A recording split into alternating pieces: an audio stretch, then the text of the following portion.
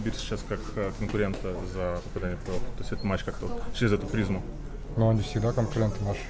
Мы их не за попадание в плей-офф, еще как-то. Ну, Всегда конкуренты наши. То, что Сибирь сменила дивизион, как-то как к этому относитесь? Меньше матчей будет между вами? Да, в принципе, не напрягаемся, играем с ними, да и все спокойно. Ничего не приводит. То, что сейчас э, после э, Новосибирска пойдете на канадскую площадку, сейчас играли на финской. Как к этому относитесь? Сколько это мешает? Да не мешает, в принципе, привыкли. Ну, у нас канадская. Нормально относимся к этому. То есть вы, сказать, перестраивались так весь э, прошлый год, да?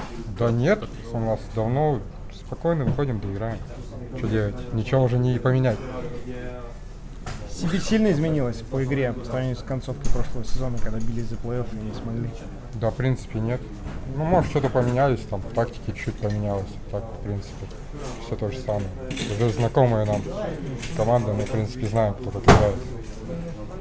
В Хабаровске канадская площадка, Новосибирске финская. Практически в каждом городе разные размеры. Если подводить какой-то общий итог, а, как вы считаете, как- какая площадка, какой размер площадки именно лучше? Да, без разницы уже. Просто приходишь и играешь. Что делать? Ничего не сделается. Ну, канадская, канадская, финская. Пусть будет финская, будем играть на финской. а Какая разница?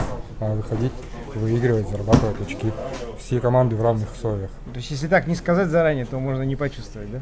Не, ну почувствуешь, но все равно привыкнешь через Шаг лево, шаг 5-10 справа. минут. А?